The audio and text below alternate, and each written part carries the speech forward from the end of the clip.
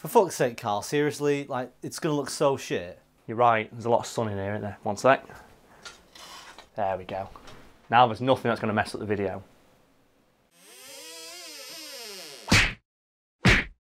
Few moments in the Batman mythos are as ridiculous or made as much fun of by fans as that one time in the 1960s where Adam West Batman fought off a shark full of explosives with a can of shark repellent bat spray.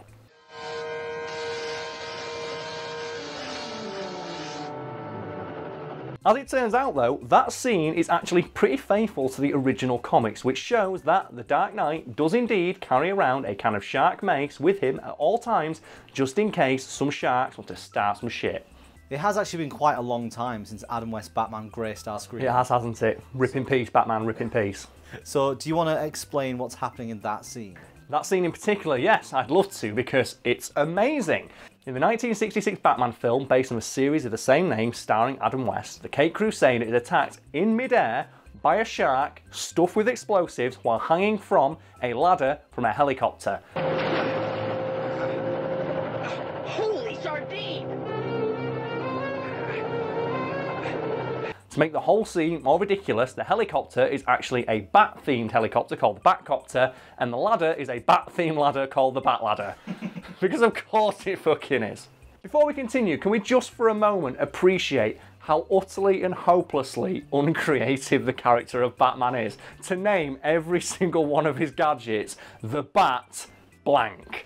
Adam West Batman took the piss a bit, like obviously with the bat ladder and the bat copter and the shark repellent bat spray, but even like gritty dark Batman still calls his computer the Bat computer. Even Batman of the future, when you've got like old ass Batman, still like unironically refers to it as the Bat computer and the Batarang. I get it, like he's committed to a theme, and I respect that. But how unaerodynamic do Batarangs look to you?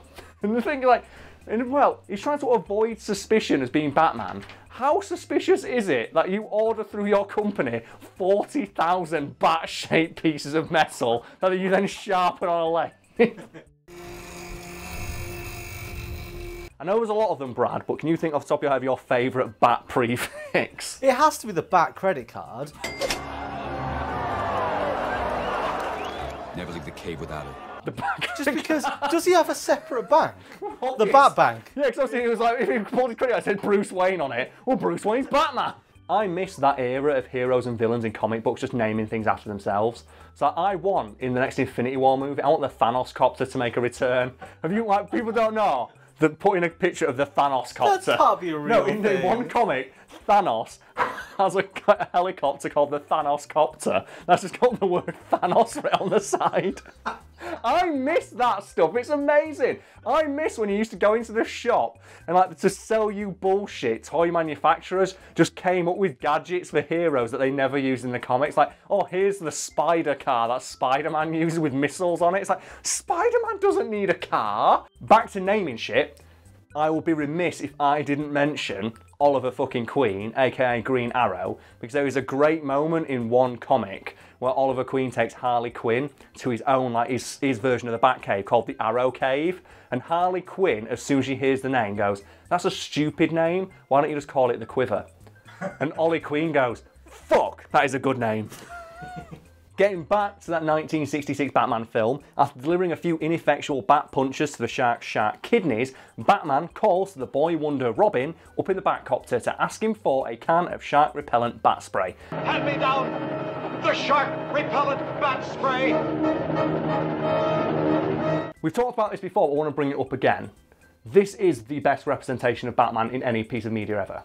Adam West Batman is the best representation of Batman ever because he's the only one I'm aware of who is prepared so thoroughly for every conceivable situation he actively plans for mid-air shark attacks. Christian Bale Batman didn't do that. Christian Bale Batman, in which everyone like lows, oh, that, that's the best Batman. Like, he gets into a fight with Bane, a master of the same martial arts as him, and he tries to beat him in a punching contest.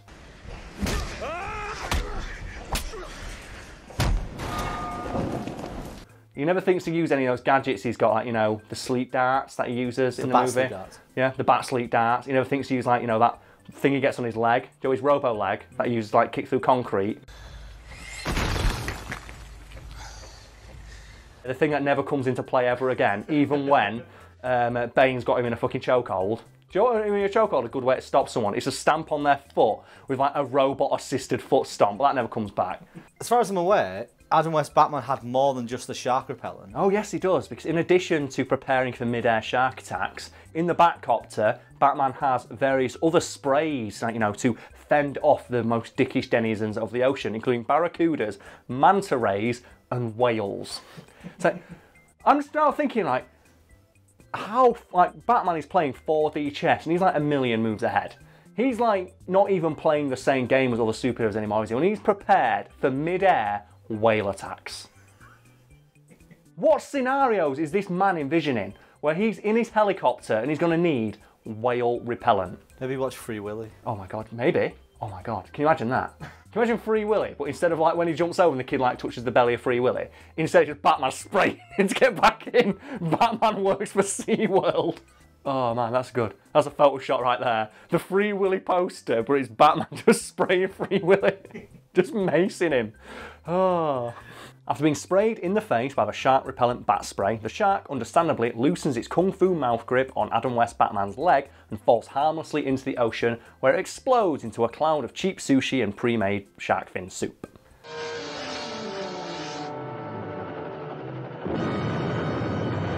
For some reason though, fans of Batman, or should I say fans of the more dark and brooding version of Batman that beat up Superman in that one comic, don't like this scene because it portrays the Dark Knight as being kind of silly, and it's unrealistic for him to be prepared for something so stupid, even though that's exactly what Batman does in all of the comics. Another criticism of that scene is that it's just bad writing to show Batman escaping from a seemingly inescapable situation by using a gadget that has never been alluded to or mentioned before, even though it totally has. What do you mean? I don't remember that ever being mentioned ever. Not in the show, but in the original comics, specifically Batman issue 117, it is shown that Batman does indeed carry around shark repellent spray in his utility belt at all times. So how do you find this out? Well, in that story, Batman and Robin get sent to an alien planet. Just, just go with it, guys. And they're trapped underwater and they get attacked by a giant purple sea dragon. And Batman pulls out some shark repellent spray, reasoning that if it works on the killers of the deep on Earth, it should work on the killers of the deep on this planet too. And this being a comic book, it does. And the big purple sea dragon runs away.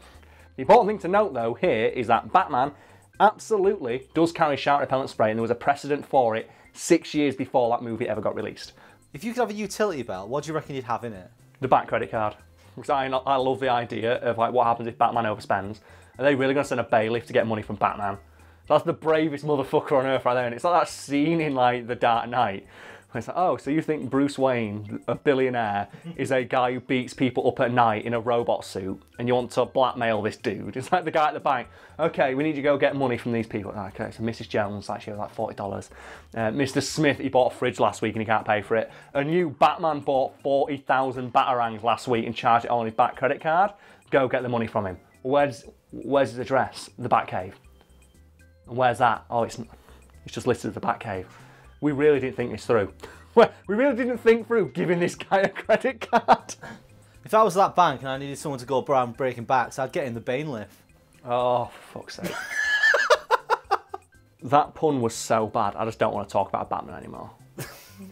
Bye, guys. I know, Brad, that I said that pun was bad, but I do have to admit it was a very Batman-esque pun. I can imagine, like, Robin in the 1960s show saying a pun that bad, so congratulations on that one.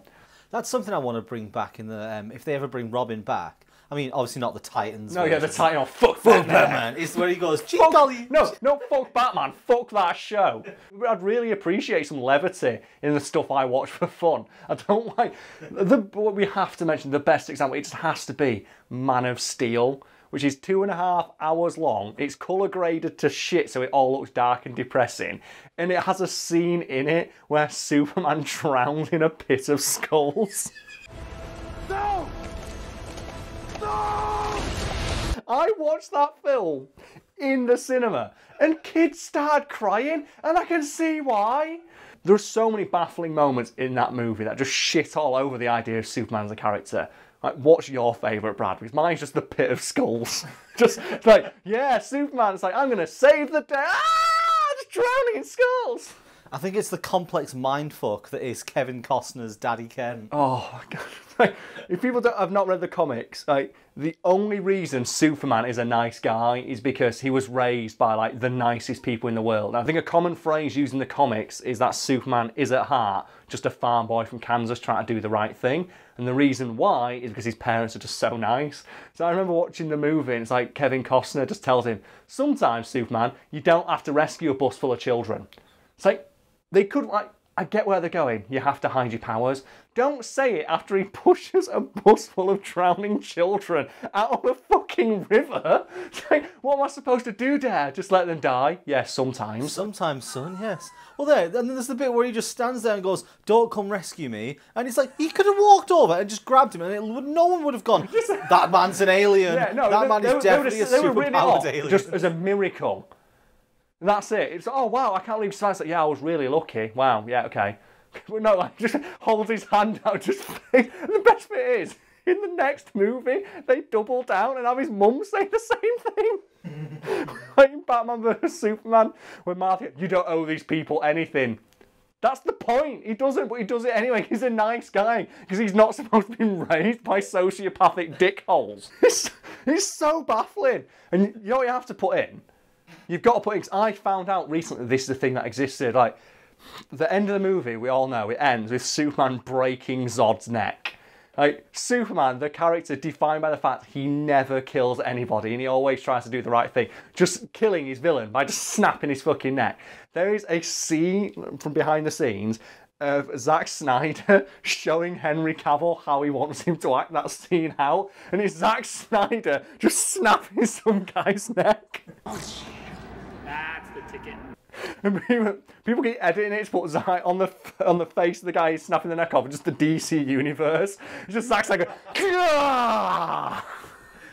oh, so, oh man, so like, all I want is some levity in my movies What about people wearing tights flying around.